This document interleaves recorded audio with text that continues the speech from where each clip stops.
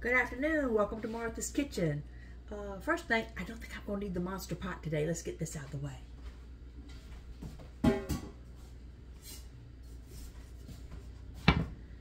My water, in, in this pot here, I've already uh, started to boil in the interest of saving time. I've got my chicken broth and my water pot is uh, halfway full. That's enough to cover the noodles that are going to go in later.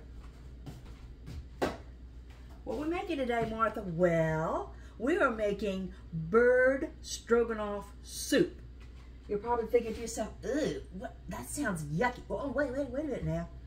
We're going instead of using meat for the stroganoff, which most people make beef stroganoff, we're going to be using ground chicken and ground turkey which are high in vitamins B6 and B12, which are good for your anxiety. And in this pandemic that, you know, is it over, is it not over, who knows yet? How many booster shots have you had? Who cares? Who knows? Whatever. Anxiety. B6, B12 is good for anxiety. That's in the meat. In the beans over here, they are high in iron and potassium, which is good for your circulatory system also to keep you calm. I forgot to tell you that in the chicken and in the turkey is also selenium, which is your secret ingredient. It's for your metabolism. So we're eating healthy here because I'm not using sour cream and I'm not using all these fats in it. I'm using reduced fat cream cheese at the end. So let's get started. This is coming to a boil. Over here in the pot that's going where my meat's going to go. Let me get my spoon. I am using, instead of oil or butter, we're using an olive oil spread. So we're going to put one, two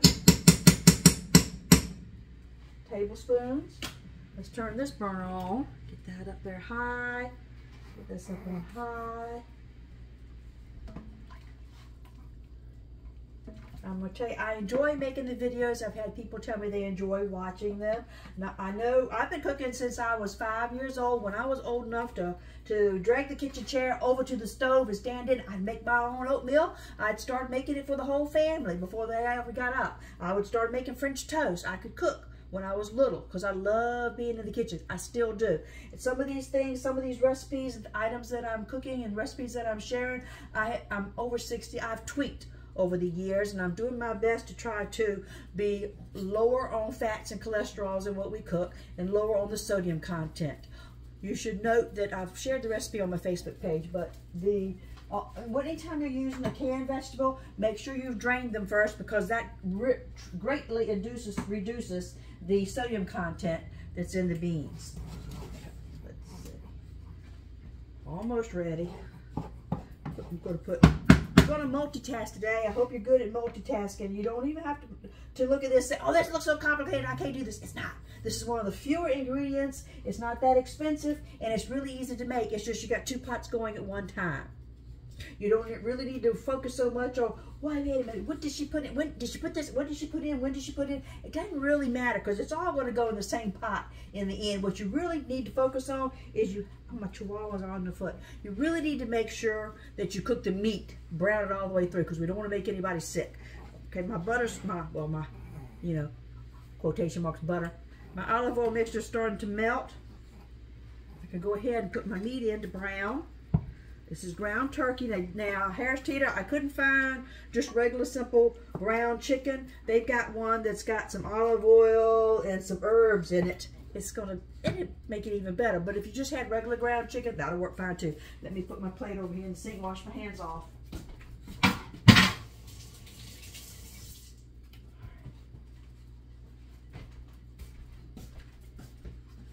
Okay. Soon as this comes to a boil over here, this is, uh, once again, this is chicken broth, and this is water to make up the difference. Pot's half full.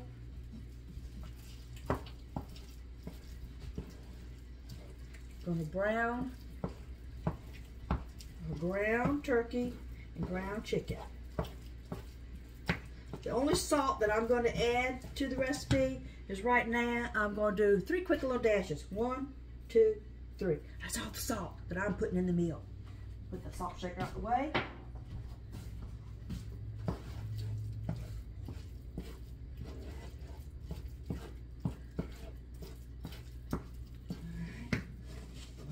That stick. Let's see. Almost boiling.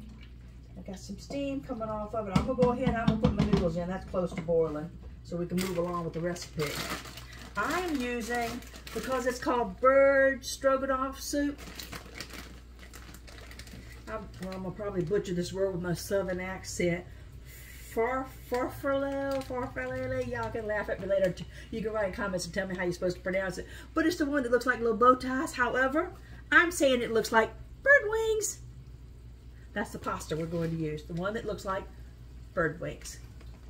I got two 16 ounce bags. Any brand's fine. Anytime that you can buy a store or generic brand, please do so. Saving money. Over here for trash.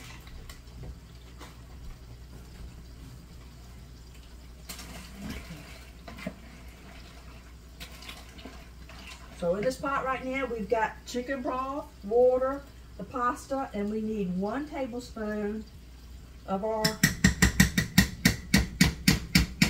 I'm gonna call it shortening, or butter, or whatever mixture we, we're using the olive oil to save cholesterol. I'm gonna keep, I might slip up and call it butter, but you know what I mean. I don't have any butter over here. That's what I'm using.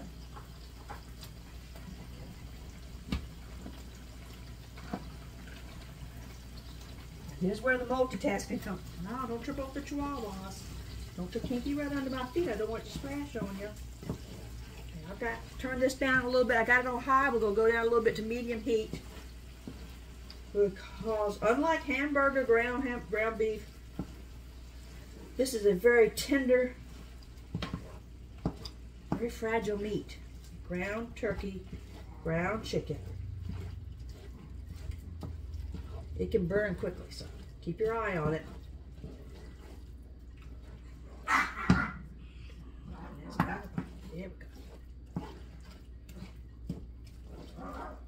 How's everybody doing out there? Right there in Virginia Beach today. It started off, Chihuahuas. It started off at 60 degrees. It felt like felt like fall.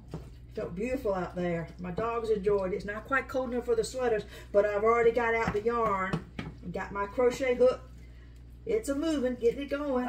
Trying to make them new hats because they've grown since last year. I have to make larger hats for them. I've only got one done, three more to go. What you barking at? What you barking at? Mail must have come. Or one of my Amazon packages might have been delivered. I'll check later. Turn my hammer so I hold it better go. Keep that crushed down so it's covered with water. We don't want to have too much water. We might have to add water at the end though because once we get everything incorporated, it's supposed to be a, a soup. That, keep, I mean, now if you notice, I've got a different spoon over here. I'm not going to cross-contaminate. I'm keeping the spoon that's going in and out of the raw chicken, raw turkey over here. A different spoon for the pasta.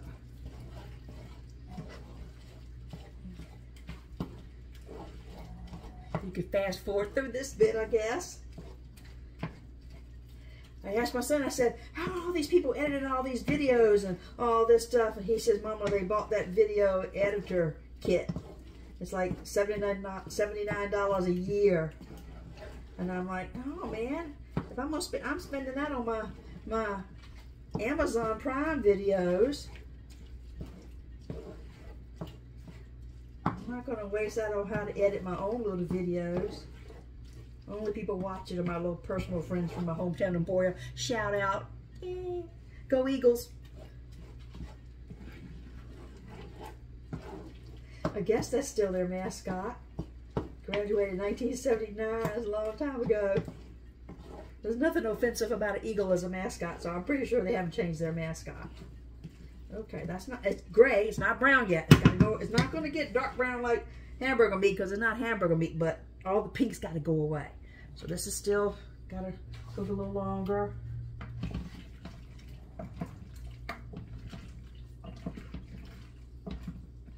These are still crunchy. These have got to get soft. Eventually, it's all gonna go in the one pot. I still got my monster pot over there in case I've done my math wrong and Greensville County High School didn't teach me good enough math. Actually, I went to UVA after that and I, you know, I'm pretty good on my math, so we'll see. I'm kind of counting in my head right now as I look around. I hope it's all going to fit in that pot. Always have a plan B. All right. Almost there.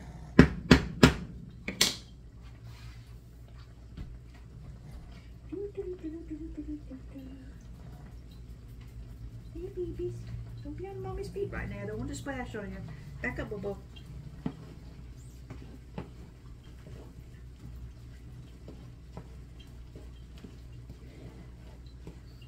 If this had been ground beef you were using, you would drain, but this is not, this is not that much, this is not really actually fat in there. This is kind of the melted olive oil butter substitute that I'm using and the, the wetness of the meat itself. It's a wet meat. So I'm not going to drain that off. I'm going to use that moisture in my soup. Pink, ah, a little bit pink over there. Get that down. Almost ready.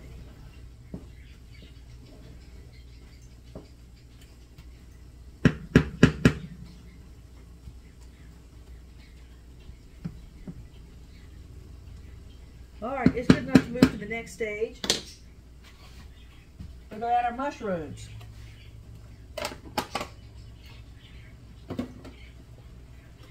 I'm using Baby Bella, but you could use any kind. Put this over here for trash.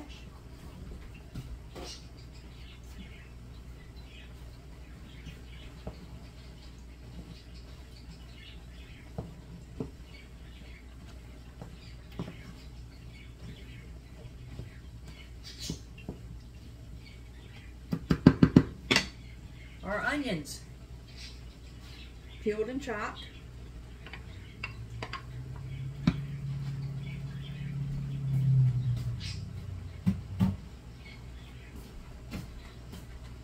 Got green peppers and garlic, also peeled and chopped. Green pepper, you're going to take the core out with all the seeds in it and throw that part away because it makes stuff too, spicy for you. Give you upset stomach. Sink wash everything. Still thinking it's all going to go in one pot.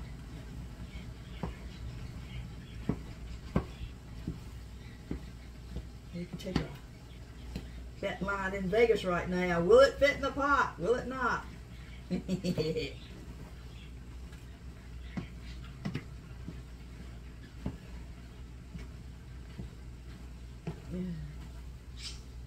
if your meat was still slightly pink, that's okay because it's still cooking more as I'm cooking down the vegetables, the mushroom, the mush marshmallow, mushrooms. Don't put marshmallows in this. Good gracious.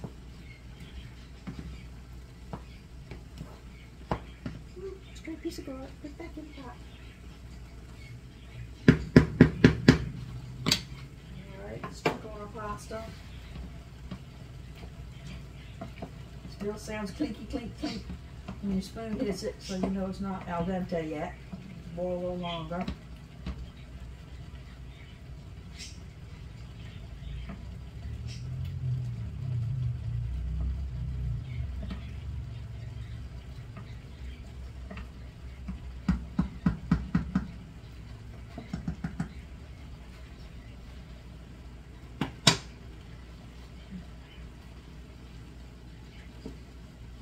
Which pot I have more room that I can add the rest of my my olive oil butter fake full butter spread to. I think I'm gonna put them with the pasta. And three more big big that's a big spoonful. One, two, three. So I'm gonna say I use two thirds of the container spoon back. with the veggies in. Is that refrigerator?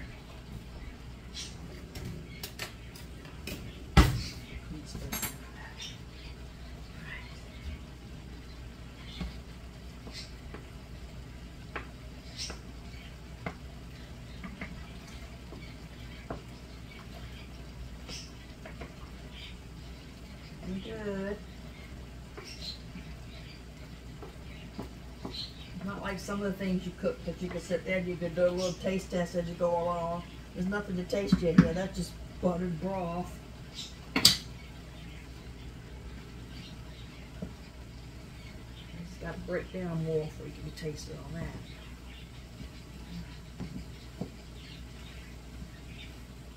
So when I was in Walmart, they got not only the Halloween stuff's been out for a while. They put that out as soon as they put the back to school stuff up.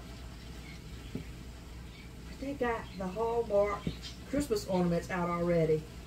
So I called my son and I, I, I took a, a, a, little picture of them. Uh, any, anything here you want before it gets picked over and the best ones are gone? We'll just cut the fan off. He said, nope, I'm good, Mom. I don't see anything new. We got plenty of ornaments.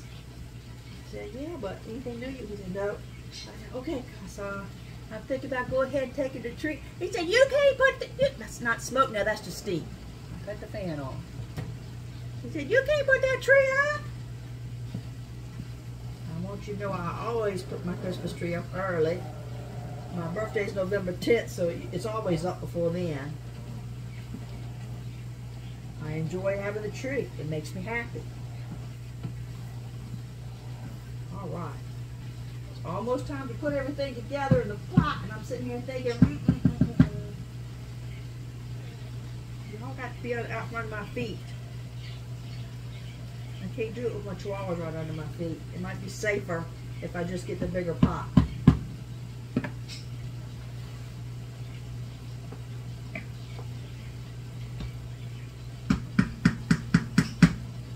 I think I'm going to do that. I'm going to move over to the sink and get the bigger pot. That way I don't have to worry about my chihuahuas getting splashed.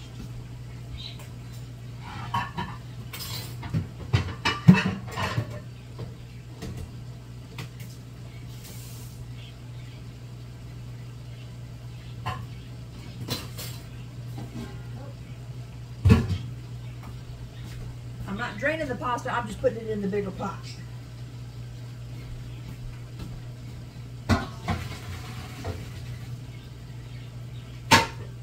Woo, that's fogged up.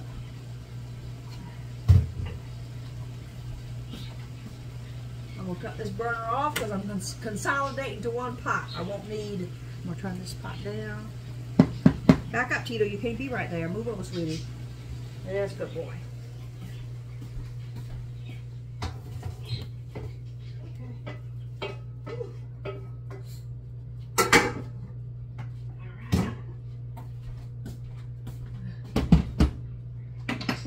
stove off there a little bit.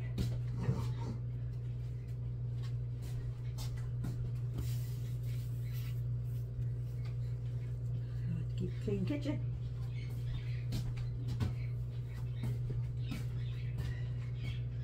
Use this burner. There we go. It might have all gone in that pot. I know it would when it cooks down more. I'm trying to rush along so you can see everything that goes in it. Whew. Man, huh? I can't see. Can you see? Let me show you everything in the pot.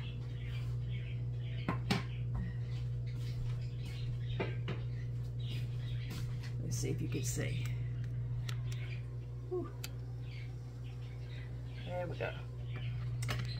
Okay.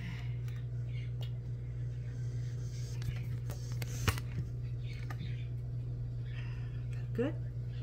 You see? I think so. All right. Next going in, one tablespoon of yellow mustard.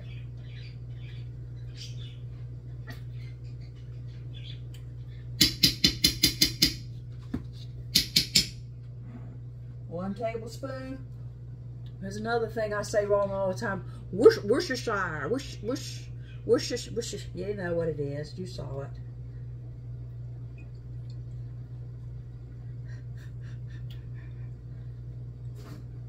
One tablespoon.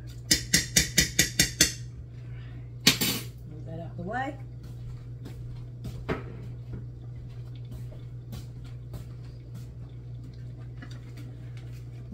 Add in two packs of chicken gravy. One. Two. These, these are my herbs I went ahead and chopped earlier in the interest of time. There's uh, rosemary, basil, thyme. Just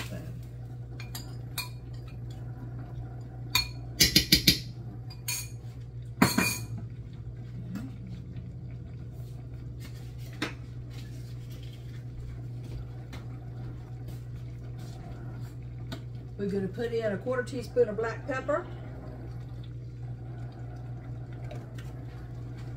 Hush puppies. Hush puppies, hush puppies. Which reminds me, usually growing up making soup, we would fry cornbread or fry hush puppies to go with it, but you know, trying to be healthier. Let's get a clean spoon. Quarter teaspoon of ground nutmeg. My secret ingredient.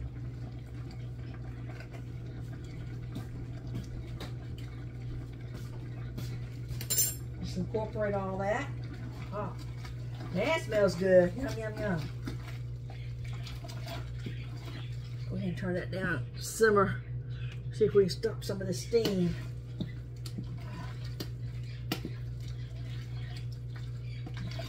You know, that's what's good about home cooking what you miss when you go to a restaurant is I steam is healthy. It's good for you. It's good for you when you're breathing in, especially if you've got a little bit of a little respiratory issue going on right there. That's steam. Good for the whole family.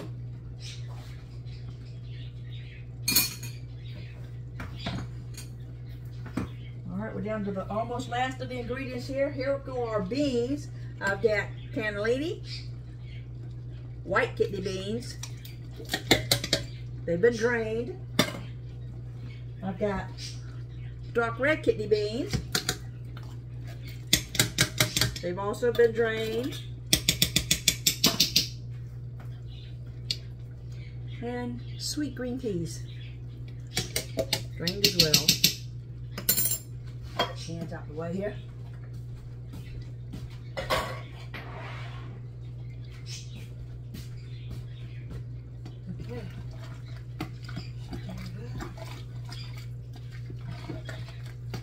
Beautiful. Look at that. Yeah, yeah, yeah. So right now it just looks like some kind of pasta soup and you're like, it's bird stroganoff soup. That's what you said, Martha. I know. And what's going to give it that added stroganoff flavor is the last five minutes. This has got to cook. I'm gonna, this is going to cook about another 20 minutes, but my, my, video will be going on and on and on and on and on. I'll come back and show a picture at the end once I've added in the cream cheese. But I'm going to use the reduced fat cream cheese, eight ounce pack. You'll just stir that in till it melts right before you're serving.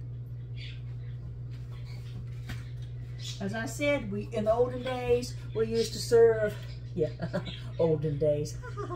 God, am I really old enough to call stuff olden days? I guess I am. We used to make fried cornbread or hush puppies. But what I'm going to serve it with is also a blast from the past. It was my brother's favorite cookies biscuit crackers, I should say. Favorite crackers. Okay. Let's show you what it looks like. Hope the steam cooperates.